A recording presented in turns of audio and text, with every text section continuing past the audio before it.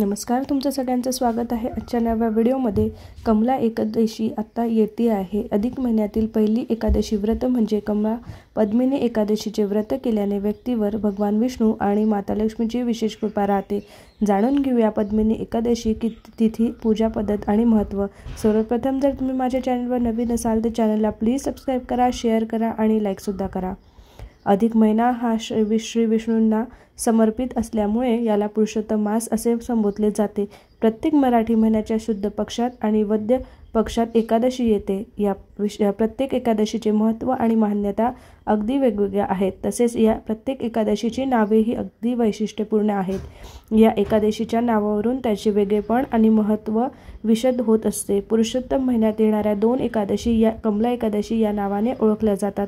नियमित वर्षांमध्ये चोवीस एकादशी येतात. मात्र यंदा अधिक महिना आल्यामुळे वर्षात येणाऱ्या एकादशीची संख्या सव्वीस झाली असून या पुरुषोत्तम एकादशीचे व्रतार्चन आणि पू पूजन अतिशय शुभ आणि लाभदायक मानले गेलेले आहे.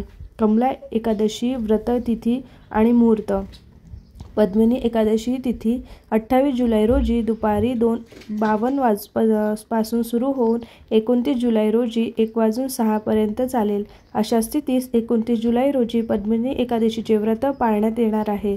त्याबरोबरच तीस तारखेला सूर्योदयापासून दोन तासाच्या आत एकादशी व्रताचे पारण केले जाणार आहे. व्रत एकादशीचे व्रत कसे करावे? अधिक अधिक महिना विष्णू विष्णू श्री विष्णूंचा प्रिय महिना असल्याने असल्याचे सांगण्यात येते. अधिक महिन्यातील एकादशीचे व्रत आचरणाऱ्यांना सुवर्णदान हजार यज्ञाचे पुण्य प्राप्त होते अशी मान्यता आहे. तसेच कमला एकादशीचे यशस्वी व्रताचरणामुळे मोक्षप्राप्तीसुद्धा होते. मनोकामना आणि प्रबळ इच्छाशक्ती पूर्ण होतात. श्री विष्णूंची कृपा आणि शुभ आशीर्वाद प्राप्त होतात. श्री विष्णूंसह महालक्ष्मींच्या देवीची कृपा दृष्टीही राहते.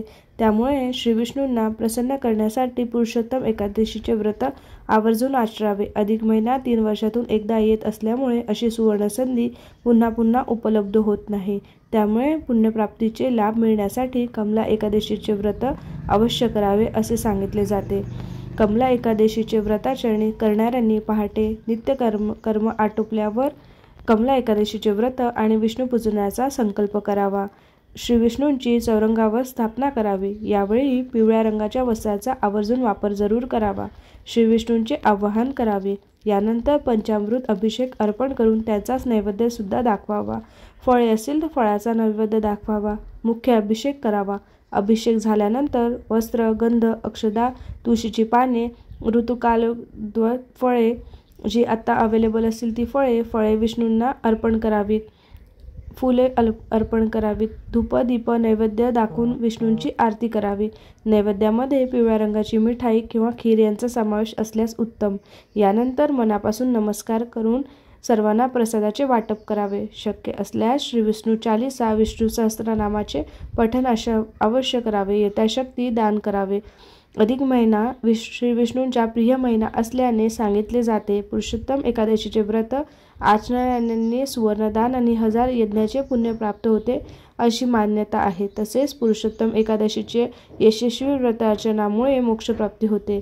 मनोकामा आणि प्रबळ इच्छा पूर्ण होतात. श्री विष्णूंची कृपा आणि शुभाशीर्वाद प्राप्त होतात. श्री विष्णूंसह महालक्ष्मी देवीची कृपादृष्टी राहते. त्यामुळे श्री विष्णूंना प्रसन्न करण्यासाठी पुरुषोत्तम एकादशीचे व्रत आवर्जून आचरावे. पुरुषोत्तम महिना तीन वर्षातून एकदा येत असल्यामुळे अशी सुवर्णसंधी पुन्हा पुन्हा उपलब्ध होत नाही. त्यांनी पुण्यप्राप्तीचे लाभ मिळण्यासाठी कमला एकादशी कथा. अवश्य धुरंधर अर्जुनाने विचारले भगवान आवडल्यास पुरुषोत्तम मासाच्या शुल्क पक्षात कोणती एकादशी येते तिची विधी कशी आहे?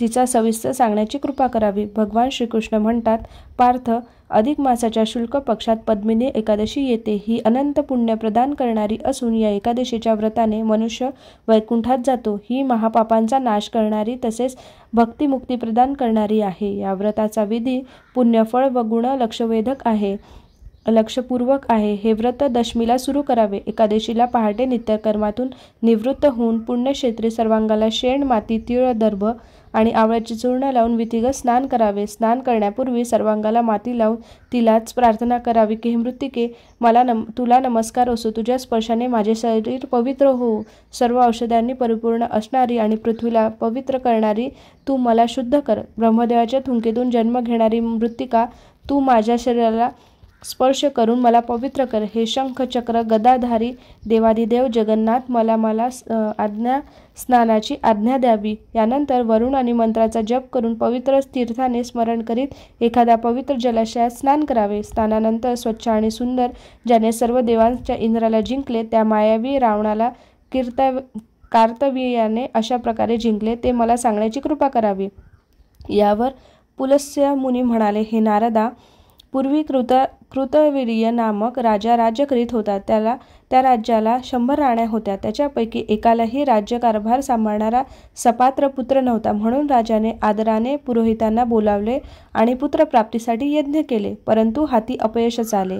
ज्याप्रमाणे दुःखी माणसाला भोग निरस वाटतात त्याप्रमाणे त्यालाही स्वतःचे राज्य पुत्राविना दुखत वाटत होते. शेवटी तप तपाद्वारे सिद्धी मिळेल असे समजून तो तपश्चर्येसाठी वनात निघून गेला. त्याची पत्नी हरिश्चंद्राची राजाची सुकन्या पद्मदा वस्त्रालंकाराचा त्याग करून पतीसह गंधमाधन पर्वतावर निघून गेली. तेथे दोघांनीही दहा हजार वर्ष तपश्चर्या केली परंतु सिद्धी मिळाली नाही. राजाचे अस्थिपंजर झाल्याचे पा शरीर पाहून पमदाने नम्रपणे महासती अनुसया मातेचा विचारले माझ्या पतिदेवांनी पुत्रप्राप्तीसाठी दहा हजार वर्ष तपश्चर्या केली परंतु अजूनही भगवान प्रसन्न झाले नाहीत.